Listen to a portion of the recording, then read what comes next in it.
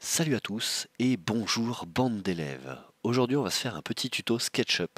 On va voir, comme c'est écrit ici, euh, comment faire une petite baie vitrée. Vraiment très simple, pas forcément archi détaillée, mais une baie vitrée déjà qu'on peut bouger, qu'on peut ouvrir, qu'on peut fermer. On va faire en, deux et en trois pans, peut-être. Hein. Donc deux et trois vitres, on va voir. Euh, pour commencer là, je vois que vous, vous le voyez pas, mais ici, là, en bas, je suis en pouces. Et eh ben, on va commencer déjà par changer ça. Donc pour ça, on va dans le modèle info. Et on va commencer par se mettre en millimètres. Hein. Millimètres, c'est bien. Ici, là, vous le voyez, oui. Donc le format euh, d'unité, eh ben, ça va être le millimètre plutôt que le pouce. Et là, après, on a la précision qu'on peut régler si besoin. On peut activer ou non le snapping, donc euh, c'est le fait que ben, des fois, quand on, veut, tracer des traits, quand on veut faire euh, quelque chose, eh ben, ça va se fixer sur un coin ou sur une arête. Donc ça peut servir, mais des fois, quand on veut être très précis, ça peut gêner, donc c'est ici aussi que ça se déconnecte. Bref, on peut fermer ça. Et on va commencer par faire un trou. Pour pouvoir faire une, euh, une baie vitrée, il faut faire un trou. Donc on prend l'outil rectangle. Là, vous voyez que j'ai déjà fait ma pièce. Alors attention, parce que ma pièce, elle a une épaisseur déjà en bas. Hein. À chaque fois, je mets une épaisseur sur le sol. Ça évite d'avoir euh, tous les traits qui se retrouvent en dessous et qui sont dégueulasses. Donc, on ne fait pas le trait, on fait pas l'ouverture par ici. Parce que si je faisais l'ouverture par ici, j'en profite un pour vous montrer des bases. Si j'essaye de l'ouvrir, vous voyez, ici on voit que l'épaisseur elle gêne, donc ça ouvre pas le trou. Alors si vraiment on veut faire comme ça, il suffit de sélectionner ça et puis de le supprimer. Voilà. Mais moi ce que je conseille à chaque fois, ah oui c'est vrai que le CTRL Z ne fonctionne pas, non. Il faut faire ici, voilà. Moi, ce que je conseille toujours, c'est de faire nos ouvertures par l'intérieur. Comme ça, on est sûr qu'on est sur le sol. Et que là, eh ben, il n'y a aucun problème. On pousse ça. Donc, je vous rappelle, hein, soit vous vous mettez là, et des fois ça marche, des fois ça marche pas, des fois ça, ça merde un peu. Donc moi, ce que je vous conseille, c'est de prendre l'arête arrière. Là, vous voyez, je me place en haut du mur sur l'arête qui est de l'autre côté de là où je vais faire le trou. Et comme ça, quand je valide, eh ben, euh, le pousser tiré c'est qu'il doit s'arrêter euh, au, niveau de l'arrière du mur, de, ce côté-là. Ensuite, qu'est-ce qu'on va bien pouvoir faire? Eh bien, on va prendre l'outil ligne. Cet outil ligne, on va venir... Euh, ma, baie vitrée, elle va être sur l'intérieur. Elle est sur l'intérieur ou sur l'extérieur? Non, on va la faire sur l'extérieur. Donc je vais venir faire un trait, pourquoi pas, au milieu ici. Je prends aucune dimension, à hein. vous, si vous avez besoin de dimension, bien sûr, vous n'hésitez pas. Donc je fais un trait. Et là maintenant, eh ben, je vais faire autant de traits au milieu qu'il me faut de panneaux, de, panneaux de, de baies vitrées. Donc on va commencer par un 2. Donc si j'ai besoin de deux panneaux, eh ben, j'ai besoin de juste un trait, parce qu'il me faut deux glissières, quoi, deux endroits où, le, où les, la baie vitrée va pouvoir glisser. Voilà. Donc jusque là, on est bien. Et après, ben, ma baie vitrée, elle va, se, elle va être séparée en deux panneaux. Donc je prends mon point milieu, et vous allez voir que à 3 ou plus panneaux, on va utiliser des petites astuces qui vont nous aider. Donc là déjà, j'ai les glissières au sol. Et maintenant, bah, ce que je peux faire tout bêtement, c'est pousser, tirer. Hop. Ça, je vais le pousser vers le haut, jusque là. Et ça, je vais pouvoir le pousser vers le haut, jusque là. Ça va peut-être m'embêter d'ailleurs, là, ce que je viens de faire. Voilà, à mon avis, ouais, à mon avis, je vais plutôt faire l'inverse. Excusez-moi, hein, tout n'est pas forcément très très près. Mais je vais faire ça, comme ça, ça ne va pas euh, me casser mon ouverture. Une fois que j'ai ça, ce que je peux faire, c'est maintenant venir sélectionner tout ça. Alors cette technique, elle est un petit peu chiante parce qu'il y a plein de choses qu'il faut désélectionner. Déjà, on regarde bien si on n'a rien sélectionné derrière, parce que vous voyez, cette arrête là-bas. Et eh ben, par exemple, si j'avais fait ça, là, juste en étant un peu tourné, et eh ben, l'arête maintenant, elle est sélectionnée. Donc faites bien attention à ça. Euh, toujours bien vérifier ce que vous sélectionnez pour pas sélectionner des choses dont vous n'avez pas besoin. Donc là, on va désélectionner, vous voyez, le petit coin ici. Là, toute cette face-là, ça, ça. Et là, normalement, plus ça, là, normalement, j'ai toute ma porte. Ah oui, ne pas oublier l'arrière. Faut, faut faire le tour de tout, de toute façon. faut être observateur. Là. Et maintenant que j'ai tout ça, donc normalement j'ai aussi le, bord intérieur. Hein. Euh, CTRL C, CTRL V, on va se le coller à côté. Et là on voit qu'on récupère toute notre porte. Alors il manque un bout ici, parce que bah, il n'existe pas dans la réalité ce bout. Enfin dans la réalité, dans, euh, dans SketchUp quoi. Donc on désélectionne tout et on va retracer les traits qui nous manquent. Donc ici, et là, et normalement ça ferme notre géométrie. Maintenant, on a bien un panneau complet. On peut supprimer ça. On prend la gomme, on se remet ici, on supprime les deux traits là, le trait qui est là derrière, tac, et on peut refermer ça aussi. Toujours hein, dans SketchUp, le problème c'est qu'il faut sans arrêt reprendre des morceaux, les ouvrir, les fermer, euh, voilà. Ensuite, eh ben, on va travailler sur notre panneau. Notre panneau, on va commencer par prendre ici le offset. Donc le offset, il nous permet de façon très simple de mettre un bord qui fait la même taille partout, tout autour d'une forme. Donc soit plus grand, soit plus petit. Nous, on a besoin de plus petit, puisque ma baie vitrée, bah, il faut qu'il y ait une vitre dedans. C'est quand même mieux. Une fois qu'on a ça, eh ben, on peut, avec pousser tirer, on prend ça et on vient le pousser à l'arrière de notre géométrie. Comme ça, on a notre cadre. Ça, c'est bon. On va en profiter très vite pour refaire ici un panneau. Donc là, j'ai refait un panneau, mais on voit que c'est toujours creux dedans. Maintenant, on peut supprimer le trait de construction qui est au milieu, qui servait juste à refaire une face. Et ce panneau-là qu'on vient de recréer, eh ben, on va le pousser légèrement pour qu'il soit à l'intérieur. Voilà. Donc, si vous voulez carrément faire du double vitrage, très simple, hein, vous faites, euh, soit vous faites le même, euh, le même offset des deux côtés, de, votre porte là, ce qui est tout à fait possible. Soit vous supprimez la porte et vous refaites une face comme j'ai fait et vous refaites une deuxième face de l'autre côté, ou alors vous faites les deux du même côté et puis vous les poussez toutes les deux de, de, deux dimensions différentes. Il n'y a pas de problème, vous pouvez faire du double vitrage, il n'y a pas de souci. Après, ben, on va lui mettre une couleur quand même à ce double vitrage. C'est où la couleur? C'est ici dans les textures? Oui. Euh, on va prendre ça. Moi, ce que je veux, c'est du vert, glass and mirror. Quand on a ici une couleur qui a, euh, enfin une texture qui a deux couleurs différentes, je l'ai sûrement déjà dit, mais ça crée de la transparence. Voilà, que ce soit pour l'eau, que ce soit pour le verre, que ce soit pour tout. Voilà. Si vous faites du double vitrage, faites bien attention parce que ça ne fonctionnera pas, puisqu'il faudra le faire des deux côtés. Là, vu qu'on n'a qu'une seule face, je crois que c'est bon. Et encore, vous voyez, il n'avait pas pris la même texture des deux côtés. Donc si vous faites un double vitrage, il faudra bien rentrer ici à l'intérieur de, votre modèle, passer à travers pour pouvoir remettre la texture aussi à l'intérieur. Je pense. C'est pas rien de sûr, mais euh, à mon avis, oui. Ensuite, une baie vitrée, qu'est-ce qu'elle a? Il faut des petites poignées quand même pour pouvoir bouger les, pour pouvoir bouger les panneaux. Donc c'est ce qu'on va faire maintenant. On va prendre l'outil rectangle, on va faire une petite poignée de ce côté à l'intérieur, quel côté? Bah on, s'en fiche, ça faut le voir, faut le voir après. Hein. Là, hop, comme ça, on a ici un petit euh, rectangle qu'on va pouvoir pousser vers l'intérieur. Et ça, ça va être la poignée qu'on attrape pour, euh, pour pousser ou pour tirer. Voilà, une fois qu'on a ce panneau, bah on est à peu près bien là. Ce qu'on peut faire, c'est maintenant le sélectionner entièrement. On prend l'outil de sélection. On fait bien attention à rien sélectionner derrière. Vous voyez, je me suis mis en vue plongeante. Parce que si j'avais fait ça, vous voyez, j'ai sélectionné tout ça aussi derrière. Donc faites bien attention, vous ne sélectionnez que ce que vous voulez. Clic droit, Make a Component, ou alors créer un composant, je crois que c'est comme ça en français. Et on va l'appeler, euh, c'est un battant, c'est un, je sais pas, dites-le en commentaire si vous savez ce que c'est. Moi je vais l'appeler 1.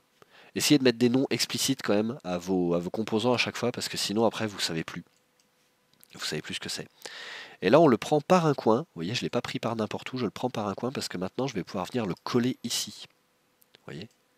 Ça me l'a collé au bon endroit. Et maintenant que c'est un composant, eh ben, il n'y a rien qui m'empêche, ce composant... Ah, j'ai pas fait l'autre côté par contre. J'ai pas fait la poignée de l'autre côté. Ballot, ça. Ben, c'est pas grave, ça va me permettre de vous montrer comment éditer le composant. Donc parce que maintenant mon composant là, euh, je peux pas travailler dessus. Si je veux faire une forme dessus, elle sera pas euh, dans le composant. Donc on double-clique, vous voyez que tout le reste devient un petit peu plus euh, un petit peu différent. Et là maintenant on peut travailler sur le modèle. Donc dans l'idéal, on essaye de mettre les deux, euh, les deux côtés au même niveau. Moi je m'embête pas trop. Hop, on le pousse vers l'intérieur. Eh, je suis pas si mal hein, quand même. Et bah, vous, si vous voulez faire ça mieux, vous prenez carrément des mesures et ce sera bien mieux. Si on veut sortir du composant, c'est simple, on reprend l'outil de sélection, on clique à côté, et c'est bon, on n'est plus dedans. Donc maintenant, je veux le déplacer, mais je veux pas seulement le déplacer, parce que si je le déplace, bah, c'est bien beau, mais moi j'ai plus ma porte. Donc là, moi ça ne me sert à rien. Moi ce que je veux, c'est dupliquer ce battant de, porte. Donc on appuie une fois sur contrôle, ça nous met, vous voyez, un petit plus à côté du à côté de, l'outil déplacé. Et maintenant, bah, tout ce qu'on va prendre, ça va le déplacer, mais ça va surtout le dupliquer. Et là, donc on peut venir le mettre là. Voilà. Petit problème, c'est que là, on voit que je vais avoir mon ma poignée. Bon, là, à l'extérieur, ça pose pas de problème. Mais à l'intérieur, la poignée ici, bah, on ne pourra pas la prendre. Parce que dès qu'on va commencer à ouvrir, eh ben, on va se coincer les doigts. Donc, c'est embêtant. Pour ça, on peut prendre euh, la porte et on peut lui appliquer une rotation, ici avec l'outil rotation. Euh, ce qu'il faudrait, c'est même une rotation verticale, voilà, bleu. Tac. Et on va juste le retourner de 180 degrés. Tac. Maintenant, je le redéplace. Voilà. Et je viens le coller ici. Comme ça, j'ai bien mes deux portes avec les, euh, les poignées qui sont, euh, qui sont chacune... Pardon. Les deux poignées, j'aimerais bien remonter un petit peu, qui sont euh, chacune des côtés opposés. Donc là, on ne se coincera pas les doigts quand on, bougera les, quand on manipulera les portes. C'est mieux. Vu que j'ai pas fait mes deux poignées au même endroit aussi, de part et d'autre de la porte, eh ben là, elles seront décalées. Donc faites attention à ça si vous voulez que ce soit propre. Vous, vous les faites du bon côté. Moi, j'ai pas envie que ça dure 3 heures. On est déjà bien en retard par rapport à ce que j'avais prévu. Donc voilà. Mais maintenant, ce qui est intéressant, ce qui est intéressant, pardon, c'est que on peut sélectionner la porte. Et là, je la pousse. J'appuie sur une des flèches directionnelles pour me fixer. Vous voyez, là, je peux bouger où je veux. Ça bougera que sur l'axe rouge. Si je clique sur une autre flèche, ça bougera que sur l'axe euh, vert. Et si je clique sur la flèche du haut, ça bougera que en hauteur. Nous, on veut que ça suive euh, l'axe rouge. Donc vous voyez, hop, ma porte, je peux la mettre sur l'axe rouge, il n'y a pas de problème. Je peux euh, l'ouvrir un petit peu si je veux. L'autre aussi, il suffit de la sélectionner. Donc on clique à côté de tout pour désélectionner. On reprend l'outil déplacer. Et là, lui, je peux le prendre, axe rouge. Et voilà, j'ai ma baie vitrée qui est maintenant ouverte. Libre à vous bien sûr de mettre des couleurs un petit peu partout, de euh, prendre des mesures pour avoir un bord comme vous le désirez. Vous pouvez aussi tout à fait, euh, si on voulait vraiment s'amuser, on pourrait sélectionner ça.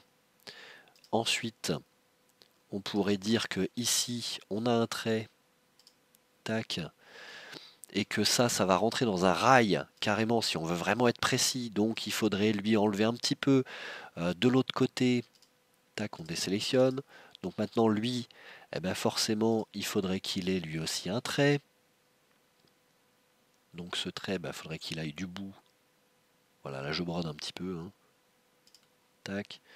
Du bout ici jusque là, en restant bien sur l'axe rouge.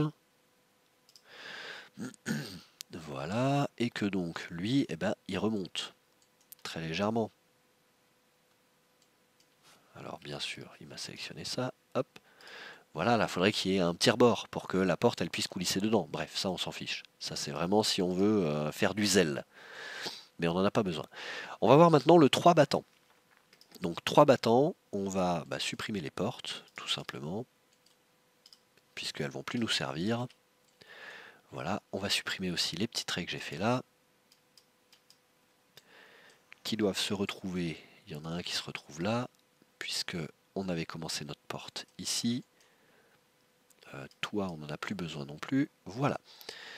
Et on va aussi supprimer ces deux traits-là.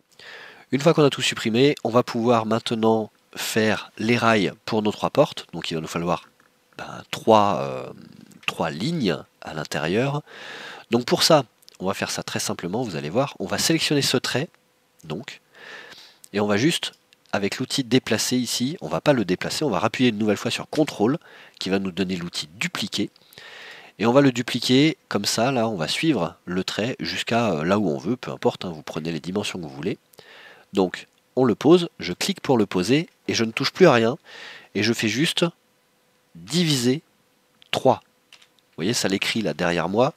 Hop, diviser 3. Donc ça veut dire que entre les deux traits, entre le trait que j'ai pris et là où je l'ai posé, eh ben, je voudrais qu'on me mette trois autres traits. Voilà. Enfin, ça fait 3 avec celui qu'on vient de déplacer. Donc ça m'en a rajouté 2, ça me fait donc mes trois lignes à l'intérieur. Et eh bien maintenant, tout ce qu'il faut, c'est quoi? C'est prendre le trait qui est ici. Hop, allez viens, sélectionne-toi toi. Voilà, celui-ci. Et on va faire la même chose. On va le prendre, et puis on va le déplacer jusqu'à... Non, on va pas le déplacer. Ça c'est un truc qui m'arrive très souvent, on s'en rend vite compte. Hein. On appuie sur CTRL à nouveau, et lui on va le dupliquer, comme ça ça ne me déplace pas tout, et on va le dupliquer jusqu'à l'autre bout, ici. Sauf que, à nouveau, le symbole divisé, ici, donc le slash, est par 3, puisqu'on veut 3 panneaux. Et là, qu'est-ce qu'il m'a fait? Eh bien, Il m'a mis à égale distance mes trois traits, enfin mes deux traits à l'intérieur. Ces traits-là, j'ai plus qu'à les prolonger, en restant bien sur l'axe euh, qui va bien, donc ici l'axe vert, pour que mes traits soient tous bien droits. Et on refait comme tout à l'heure, on n'a pas à se poser de questions, on reprend notre outil ici, on va faire le panneau qui est tout au fond,